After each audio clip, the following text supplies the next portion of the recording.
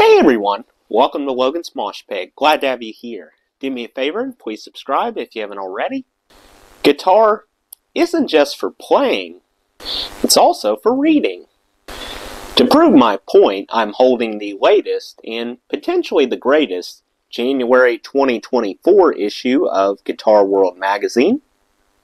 There is an abundance of enthralling material stored within these pages particularly an interview initiated by Andrew Daly with Evan Stanley.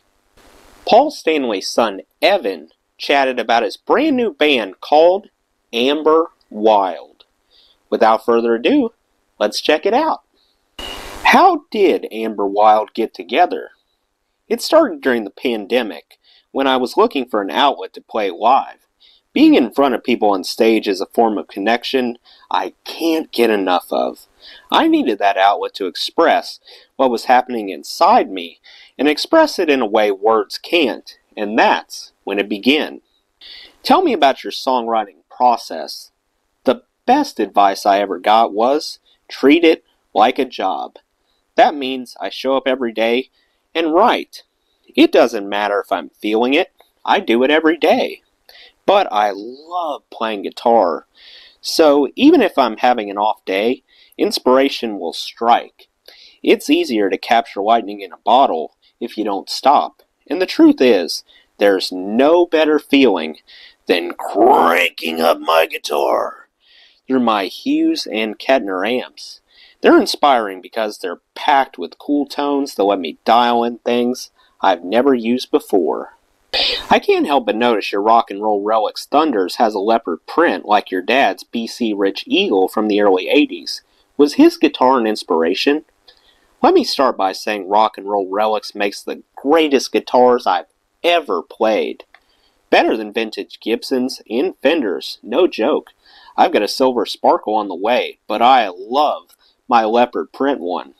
It's not directly inspired by my dad's, but it's not a coincidence either. With the world I grew up in, his stuff was around me, so some of it had to sneak in, if only subliminally. I'm a huge Kiss fan. I love glammy stuff. The visual is important because it's a form of expression. Which of Amber Wild's songs best defines the band? We just came out of two long rehearsal days, and I brought in this idea which was cool, but was missing something. But as soon as we got in the room together, we banged it out quickly. And it's probably the most balls out song we have. I love it. It's hooky, punchy, and like Guitar Mageddon. It's called Breakout, and we'll release it alongside Silver.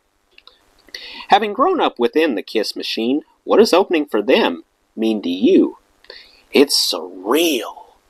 The older I've gotten, the more I realize how special my dad's work is. I was so close to it, so I never understood the scale of it. But now that I don't live with my dad, I see that Kiss's impact on music and culture is huge. I get to see that firsthand, and I'm very thankful to be a part of it. But the chance to connect with people at this level has me more stoked than ever. I'm ready for it. Last question. What do you see when you look down at your pedal board? A D'Addario tuner, CT20 Chromatic. It's a simple tuner that I grabbed at Guitar Center. I chose it because it's what they had in stock. A way huge oranger, OP amp fuzz, the best fuzz I've heard. It's reactive, can roll off, and gives perfect edge frizz. When I roll it up, it's saturated, sustained, and clear. A Keeley Oxblood Overdrive. I have the EQ dialed, so it's great for solos. It's got a nice high roll off, where I get a lot of bite, but no harshness. And a way huge Echo Puss analog delay. I mostly use this during solo. It's beautiful and musical sounding, making every lead sound better. Well, that wraps up the Evan Stanley interview. I already listened to both songs that he brought up Breakout and Silver. I thought they were top notch. He certainly seems like a chip, off the old block. I put a link to each tune in the description so you can hear it.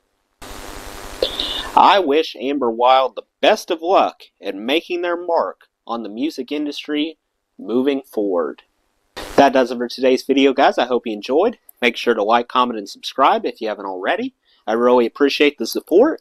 I'll see you next time. Till then, rock on.